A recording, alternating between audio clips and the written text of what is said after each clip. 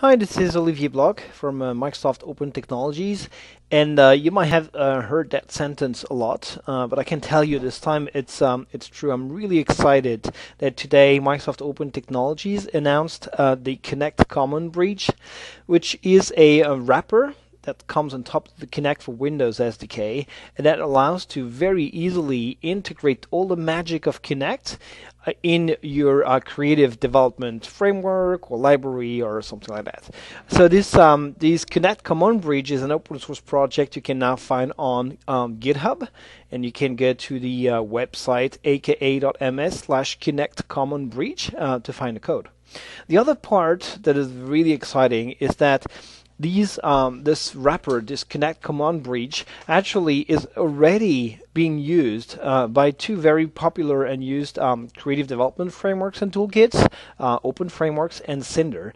Um, the, um, we, we work very closely with the, the two communities and uh, with the Kinect for Windows team to integrate the Kinect Common Bridge into uh, Open Frameworks and Cinder.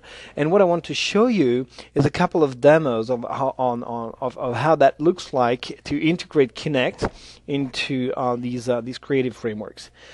So I have here Raphael, uh, my son, was uh, delighted actually and more excited myself uh, to play around with uh, these new tools. So this is an open framework application and uh, it actually shows some uh, mesh extrude and it has been integrated, the Kinect experience has been integrated very simply in there. So you can see Raphael can move his hands and so on and you have this nice effect here. Let's um, check out another quick demo and and this one actually will use the IR sensor of uh, the Kinect device.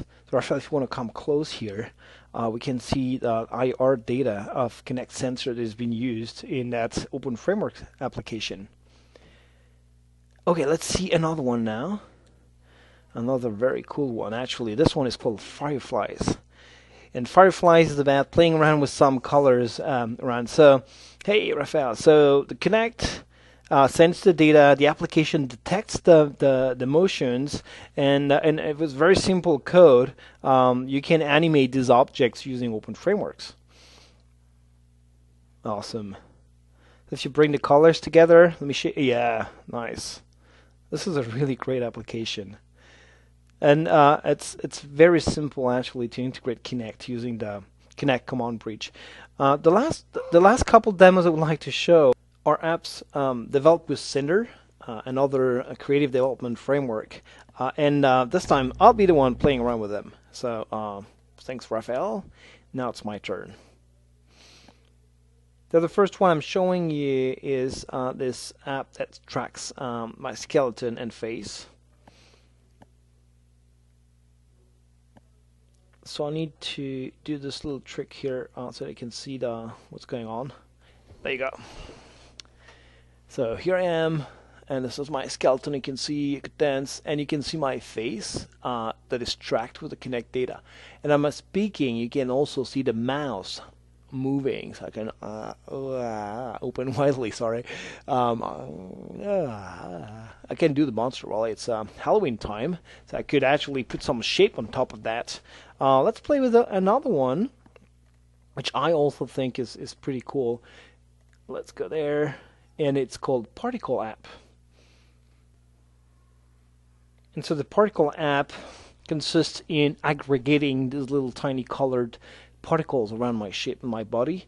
So Kinect detects my movements, is where I am. Let me stop moving. It aggregates everything there. Creates that weird shape.